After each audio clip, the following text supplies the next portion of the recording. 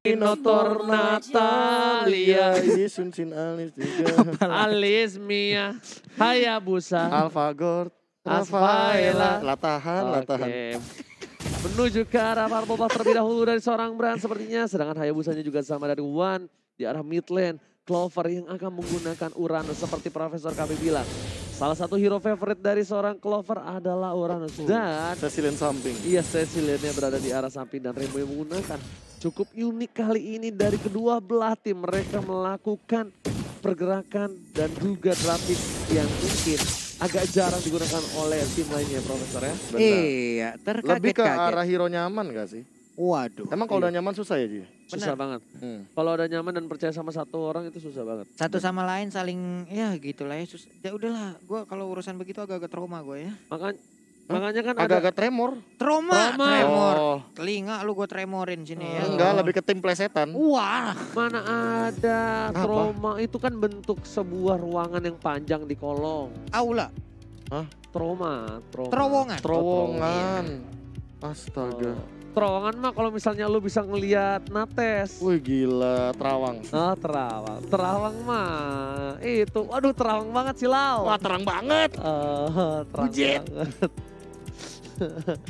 Nih, karena kita ada masalah teknis kayaknya dari EVOS. Iya. Ya, Film karena gua. kameranya kan biasanya mengarah ke Orang yang bermasalah. iya Eh, atau tim yang minta tim yang- pause. Iya, apa tuh tadi EVOS bukan? Nah, Oh udah nih kayaknya. Oke, Oke. kayaknya kita udah bakal langsung masuk ke dalam in-game sebentar lagi buat kalian semua. Jangan lupa di-share, ini adalah game ketiga untuk kali ini. Let's go brother semua. ini dia. Uh, langsung nongol aja Clover di bagian bawah. Ngebayang time tapi ternyata malah Oh. ketangkap juga Darkness kali ini pun harus meregang nyawa. Kan sedikit lagi HP-nya tersisa. Masih ada Abso dari Sunpo. Ditabrak Pak, dicolok punggungnya udah hilang. Gak bakal bisa untuk kabur kali ini flickernya juga masih bisa ditahan dan Rainbow memilih Cecilian di arah side. Ini sebenarnya kuat cuma satu. Minusnya adalah dia gampang banget untuk di ganking. Kalau untuk clear minion dia udah gampang banget lah Be ya. Dia sustain lah ya kita bisa bilang di arah uh, laningnya. Cuma kalau udah mulai di gank nih kayak gini nyangkut aja satu uh, Quad Shadow itu kalau nggak di purify itu bakal bisa ditumbangin sama seorang One Anama dari Contini. Oke, Thousand Pounder akan dikeluarkan kah saat lagi? Enggak, ternyata direlakan begitu aja, diliatin aja dari jauh. Anti-match di dalam rerumputan, langsung menunggu kehadiran dari beberapa player. Bigatron Alpha, sementara One juga langsung maju ke bagian Quad Shadow memberikan Phantom yang Shadow yang akan dikeluarkan sesaat lagi. Fighter bagus banget berhasil menumbangkan satu tapi lihat lampu-lampu Minotaur Natalia memilih untuk mundur terlebih dahulu dari seorang anti-match. Anti-match tahu dia belum cukup kuat untuk melawan dua hero di depan sana. Reki memaksakan keadaan mengusir mundur para pemain dari tim Bigetron itu Dreams lebih tepat. Yoi, sekarang Turtle pun langsung terbuka dengan sangat-sangat bebas. One bisa mendapatkan Turtle tersebut tanpa adanya gangguan. Sementara untuk Purple Buff, akankah dilompat? Oh, dilompatin langsung dengan Thousand Pounder tadi. Dream sudah nggak kuat lagi untuk nahan di bagian belakang. Gak kuat menahan damage yang cukup besar memilih untuk mundur. Tapi Clover masih bandal di arah bottom lane. Untungnya gak di shutdown asal-asalan dari seorang Clover. Benedetta udah melakukan rotasi lagi dan bahkan cutting minnya cukup jauh untuk seorang Benedetta ketimbang seorang Uranus. Di arah top lane, lihat Rainbow-nya bakal coba dipasang dengan satu buah dua yang Dragon dan lihat refactornya. Rainbow masih coba bertukar satu satu tapi bakal Eh? jadi 2-0. Kerugian luar biasa untuk EVOS Legend dan Imperial Justice. Harus mendapatkan satu. Ultimate Darkness, what happened? Ragu tadi seperti udah melakukan flicker ke arah yang berbeda tapi ternyata malah dikepung juga dan sekarang Electrofinal Blow-nya pun langsung dikeluarkan oleh Ripo. Sementara Clover masih berfokus untuk bisa menghilangkan satu wave minion. Udah ada lagi satu gold buff akankah diambil dan ternyata Brandla yang berhasil untuk mendapatkan sakit banget damage-nya. Masih ada regen SP yang dimiliki oleh Uranus. Oh, Ripo kali ini dua wave akan didapatkan langsung di follow up oleh seorang Rexy dan juga di sini ada Clover.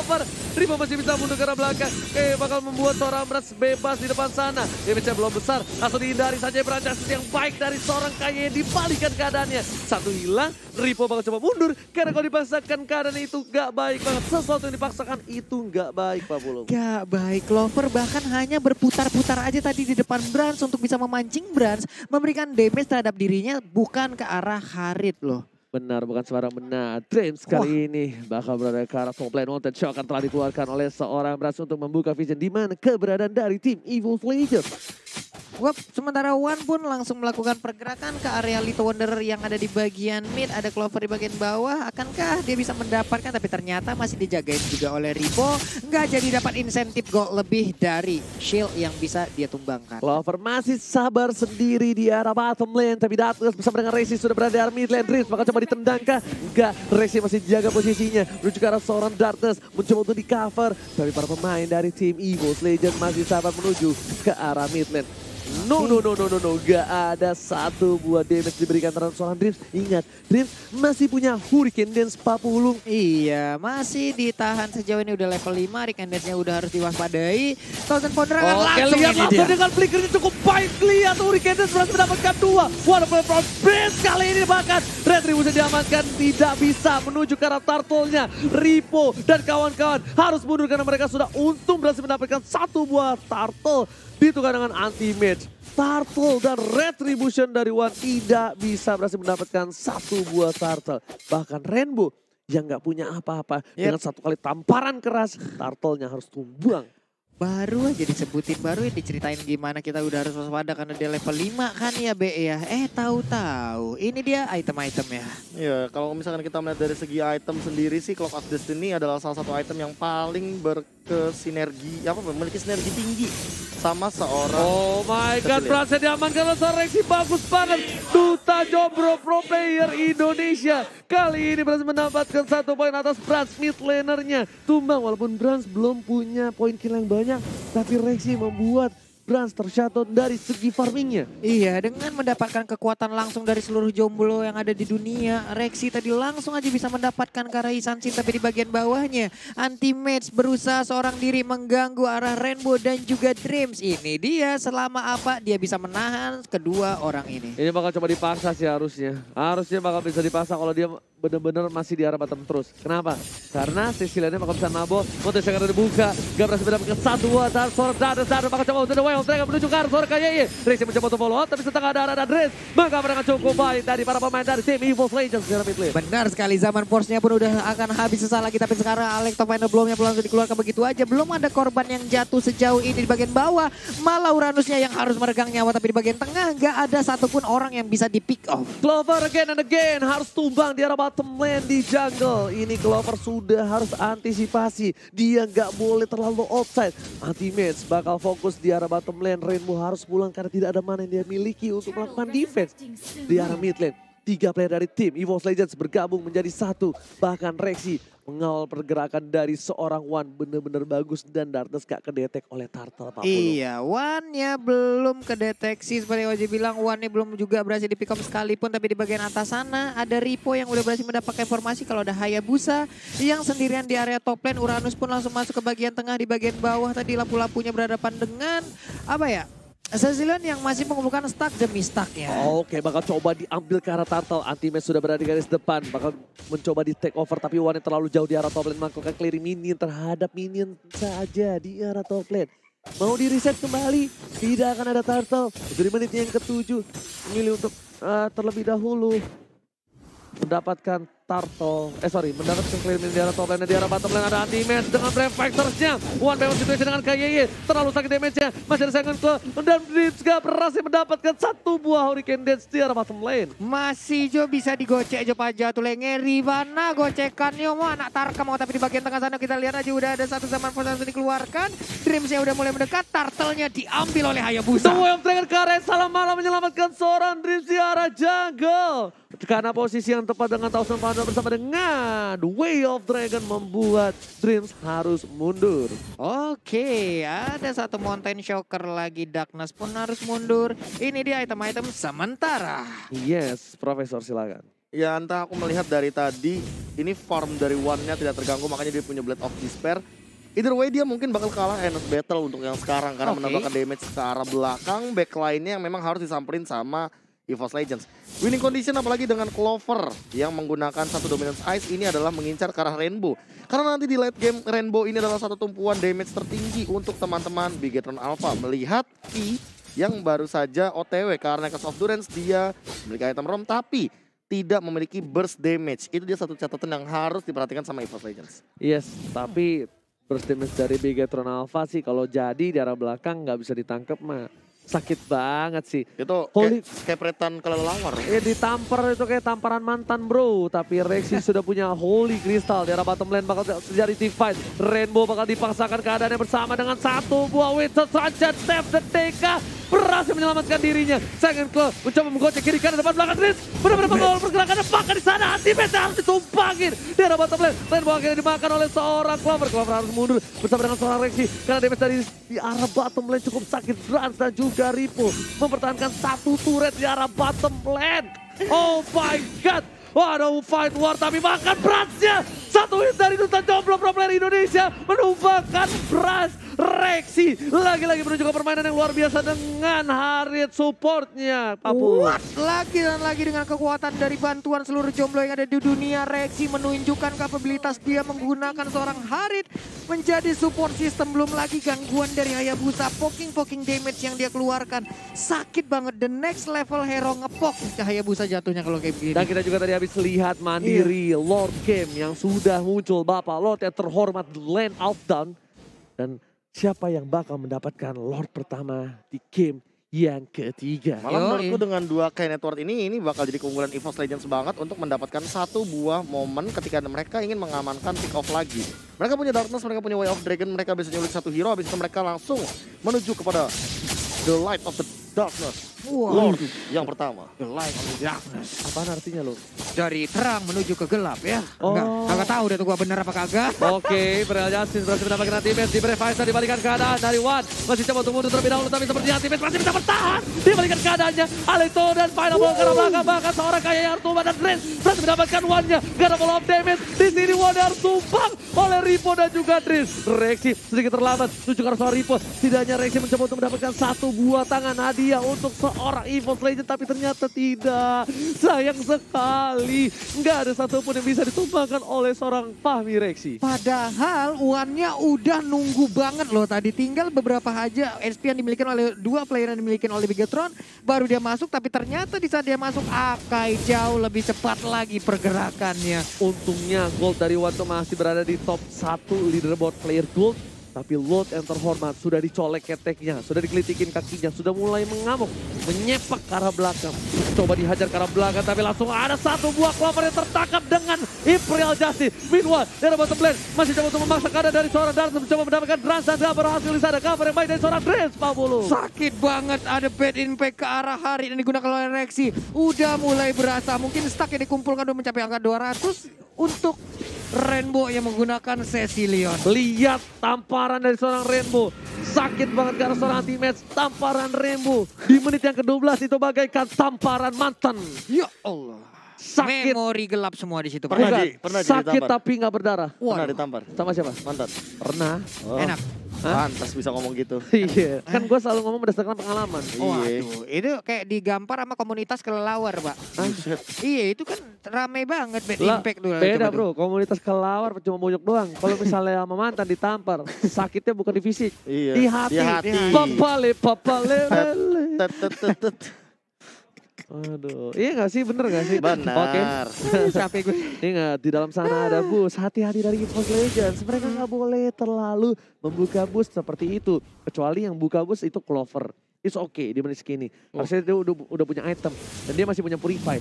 Ketangkap oleh Imperial Justice masih bisa kabur. Daripada Darkness, salah satu pick over dari tim EVOS Legend itu berbahaya banget. Karena Ini- di Garetron Alpha itu resisten banget. Iya. Dia tinggal disiplin, clearing minion, dapetin turretnya, is okay udah kelar. Tapi kayak dari belakang, ingat.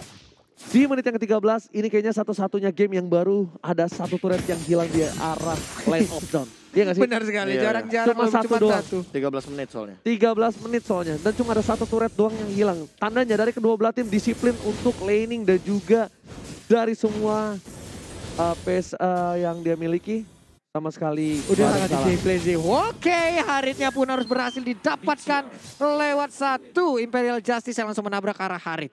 Kaget baru digeser kamera Iya. udah kena ancep. Enggak ada Oh. purify soalnya. Iya. Ada penculikan langsung Ada tadi. penculikan dua kali ya kayak gini ya. Nggak kelihatan tapi lihat ada turun di sana. Wan harus mundur lihat Udah. satu kali tamparannya. Sakit banget seperempat darah harus hilang. Dan bakal coba dipaksa sepertinya kali ini para pemain dari tim EVOS Legend. Bakal coba untuk mempertahankan satu buahnya dan flicker ternyata gak berhasil. Ganti miss, Antimis masih bisa tergeser dibalikin ke ada Dewey Dragon yang baik ada suara KYI. Gak ada Imperial Justice lagi. Rainbow pun sakaratul maut ada Brave Fighters Winter Trajan. Hanya untuk mendelay kematian dari seorang Rainbow. Ternyata tidak. Winter Trajan save the day untuk seorang Rainbow. Bahkan Dalton sendiri memilih untuk flicker mundur ke belakang. Rainbow-nya masih bisa selamat. Dia berhasil tapi Isansin sekarang Wow, purple bomb-nya sempat diambil oleh Isansin sebelum ada gangguan dari One barusan. Yes, benar banget. Clover pun sudah untuk farming, clearing minion, balik lagi ke laning, masuk ke menit ke-14. Hati-hati, di late game sakit banget. Eh. Lihat, Brans gak peduli, dia setebal apa dari seorang Clover. Dipaksa, damage-nya dikeluarkan. Ada drift juga di sana. Gak ada Hurricane Dance, udah ada kembali Hurricane Dance-nya 40. Iya, dari Brans mungkin tadi dia tahu belum bisa numbangin Karo Uranus, tapi setidaknya dia bisa ngusir mundur Inuranus untuk tidak berada di dalam area defense yang dimiliki oleh Big Tron Alpha terus menerus, Pak. Benedetta arah top lane, coba diganggu oleh seorang Uranus. Darkness ini juga harus dapetin satu momentum ke arah branching. Dia harus coba mau nggak mau. Karena kemungkinan besar kalau dia dapetin Brans terus ditumbangin ini enak banget untuk Rainbow. Rainbow tuh sulit juga ya digapai ya. Padahal dia Sicilian loh. Winter selalu menyelamatkan hidupnya. Dan ada Purify juga kan. Dan ada Purify juga, benar-benar Rainbow berkali-kali tapi di arah mid lane ditangkap dari seorang Ultimate masih bisa bertahan. Rexy mencoba mengcover pergerakan dari Ultimate. Seperempat gak nyampe dan bahkan dikati oleh seorang.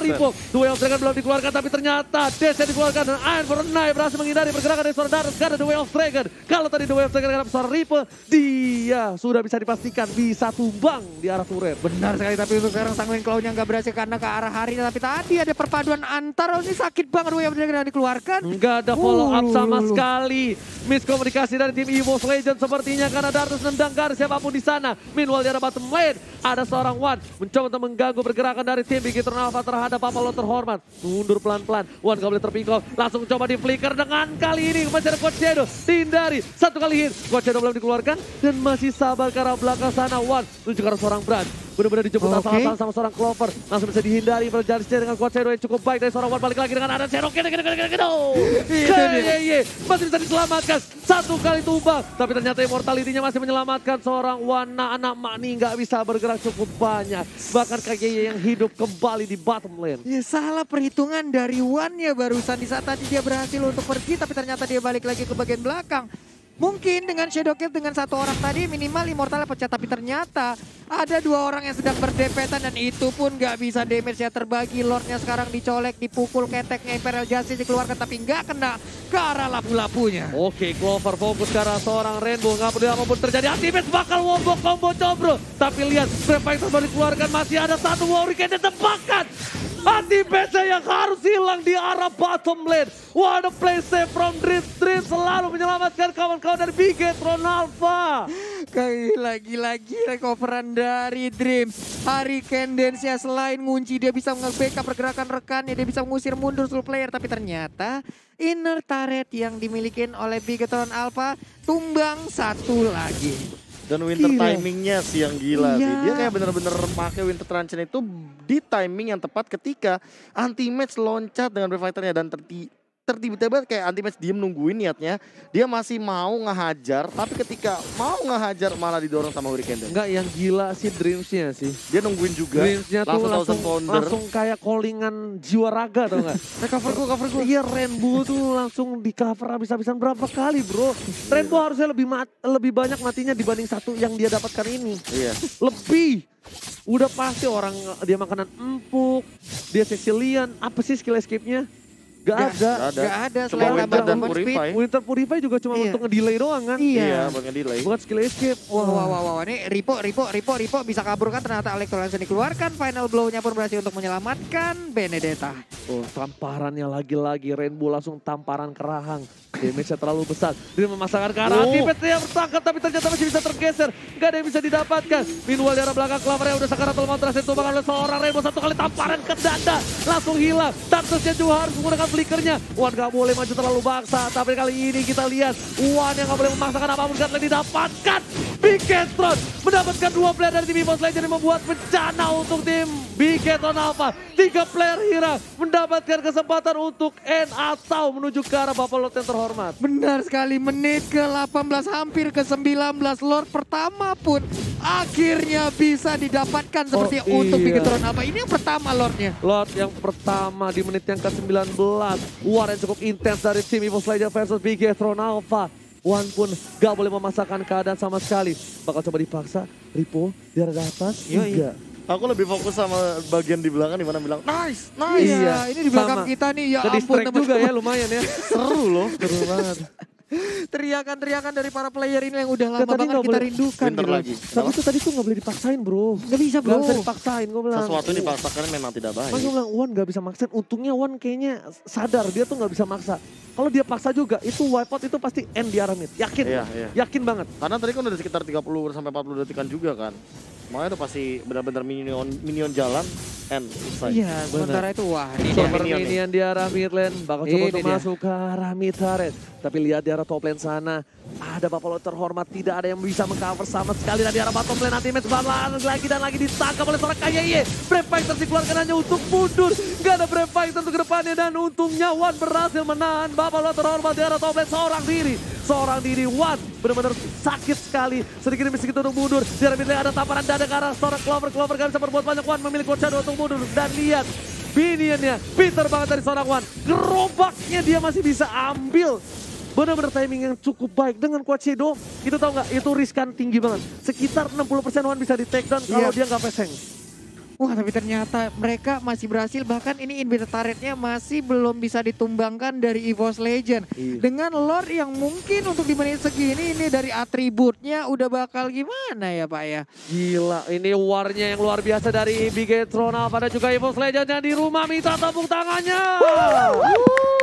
Oh gila, luar biasa yang di rumah tepuk tangan sendiri. Iya, ini, teman, ini kita nggak tahu ya teman-teman yang ada di rumah sana ngedenger nggak ya dari BPAS kita atau dari mic kita ada teriakan-teriakan dari para player. Tapi ternyata di sana di Gang yang berhasil didapatkan. Darkness yang terperangkap. Tapi di belakang sana Rexy memilih untuk menuju ke arah seorang Rainbow. Rainbow nggak bisa berbuat banyak. Langsung ditumbangi saja. Akhirnya Rainbow tercatat. Rexy berhasil mengamankan seorang Rainbow. Darkness langsung menuju ke arah bottom lane. Kayak dituju. Gak peduli apa pun yang terjadi. Bahkan Walter Shaker dikeluarkan hanya untuk mengusir mundur para pemain tim EVOS Legends di arah mid lane. Ini pintu torretnya diamankan oleh Minion. Alot banget Ware barusan. Hanya mensiakan hanya bisa menangkap satu orang dari begitu lama tapi ternyata untuk sekarang Alex Final Ball yang dikeluarkan begitu aja. Ke mana ke arah perginya?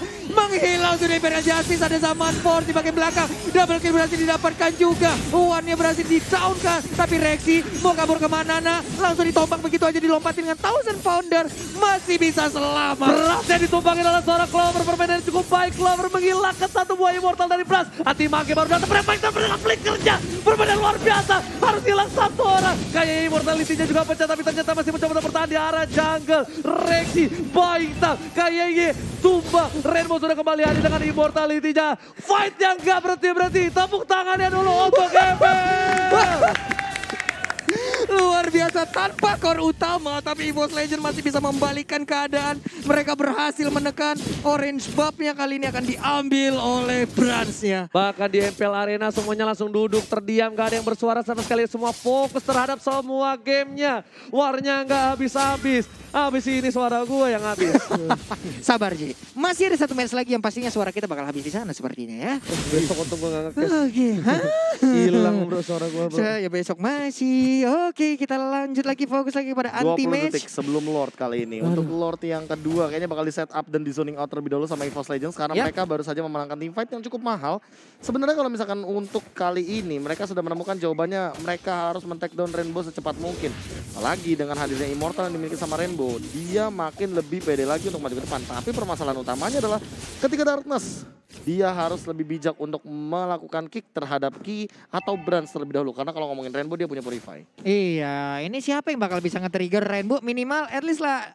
Ya dia bisa menggunakan purify-nya sebelum nantinya ada kick yang dikeluarkan oleh Cho untuk bisa mendapatkan Kara Rainbow ataupun hero-hero lainnya. Winter lagi. Winter Betul. lagi. Winter lagi. Pusing, Lihat. pusing.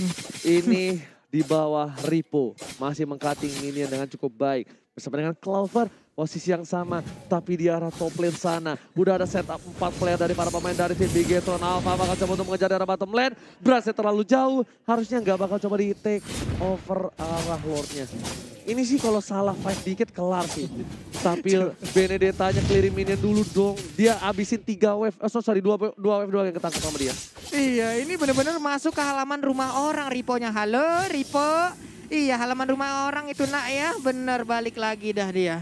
Sementara itu di bagian bawah Uranus masih membaying time aja, masih mengganggu ke arah Isansin. Tapi di bagian Lord, udah ada colekan-colekan maut yang langsung digunakan ataupun dilakukan oleh EVOS Legends. Rainbow, lihat udah ngebuka kali ini. Siapa yang bakal coba ditampar sama Rainbow? Dia cari masa, dia cari orang. Siapa yang kebuka visionnya tabuk langsung rahangnya. Bad impact sakit banget.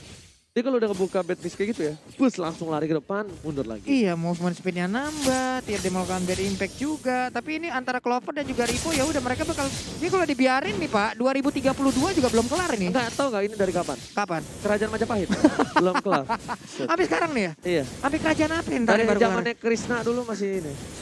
Biarin aja udah, udah bahkan si Halbert pun diambil oleh Brans untuk memotong langsung ke arah Clovernya nih. Yes, sama-sama mengcutting minion. Tapi kalau misalnya Benedetta-nya ini salah pergerakan sedikit pun, ini bisa diambil sih, Profesor. Iya, walaupun kita tahu sendiri di sini udah punya Oracle Queen Swings juga bahkan ada satu Bob Brute Force tapi ya dia cuma punya escapability dengan menggunakan Hunter Strike dan itu tidak me- apa ya, jadi asuransi bahwa dia bakal sustain kalau seandainya nanti ada ganking dari Rexy.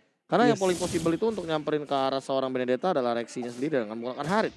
Rexy sih udah sakit banget ini bener-bener udah harit late game tau gak? Hmm. Enak banget harit kayak gini nih. Dikasih buff biru lagi. Waduh. Dikasih buff biru. Sama kayak Rainbow. Iya sama kayak Rainbow dikasih buff biru. One-nya nggak punya buff biru berarti one-nya ini bisa dibilang udah menjadi posisinya turun ke striker yang kedua. Iya. Striker pertama yang bakal dikasih ke arah Rexy, ditambah Rexy juga udah punya Purify. Siapa pun yang bakal dimakan oleh Rexy, sepertinya Brans itu bakal easy kill. Gue lagi lihat dari itemnya. Dari Rainbow malah agak sedikit sulit. Dengan dua detik dari uh, Winter Transition-nya itu bakal ngebuat kehilangan banyak soft skill banget. Tapi Rexy di arah belakang seperti yang udah gue bilang. Dia menjadi posisi striker satu. Yap. Kalau dia tumbang, itu benar-benar bakal dihabisin. Benar-benar bakal ditabrak habis sama Bigetron. Aku yakin seribu yakin. Tapi ternyata Wadnya yang di arah mid lane tertangkap oleh seorang KYE. Lagi-lagi Heki, bukan sembarang Heki. Ini benar-benar Heki dulunya pasti yakin main burung dara. Karena dia berhasil menangkap berkali-kali permainan dari EVOS Legends. Dan membekukan permainan dari EVOS Legends. Iya, ini cutting minion dilakukan oleh Ripo juga bukan sebenarnya masalah di cutting minion Oke. aja, tapi ini sebuah konsentrasi Oke. yang diganggu sekali. Oke, sepertinya dari tim EVOS Legends mencoba untuk membonyokin dulu permainan dari tim Bigetron Nava. Rivo Oke. mengganggu Rexy, tapi damage Rexy terlalu sakit seperti kata Profesor Kabel. Menangkap lagi lah teammate-nya. Mencoba untuk melakukan break stars kali ini. Ultimate bakal coba ditumpangi seperempat darah terakhir. Legendary didapatkan. Rivo benar-benar bermain dengan cukup bagus. Satu kali tampol ke belakang Rexy pun harus mundur. Rexy seperempat darah. Empat hilang. Dan lihat Darus bakal mencoba menyusul. Tersisa seorang Clover. Ini bencana. Evos Clover tersisa seorang diri bakal bersama dengan Super Minion di arah mid lane. Bigetron gak mau pedulikan apa pun yang terjadi. Di arah bottom lane Super Minion juga pada datang arah ini Bitter Turret. Clover seorang diri. One gak bisa bertahan. Asap full langsung shadow kill dan ternyata gak terkena damage ditangkap. Kali ini One-nya 40. Benar sekali Wannya sendirian aja dan sekarang pun wipe out gagal langsung didapatkan. Nggak akan bisa lagi untuk mempertahankan dan ini dia wave minion. Sementara itu tata tata tata tata udah langsung dikeluarkan. Alpha. Bigatron Alpha dua satu. Oh my god. Tuh Kapsa Mike jemur God. Oh my God. Wow. What a play dari Bigeton Alpha yang mereka mencuri satu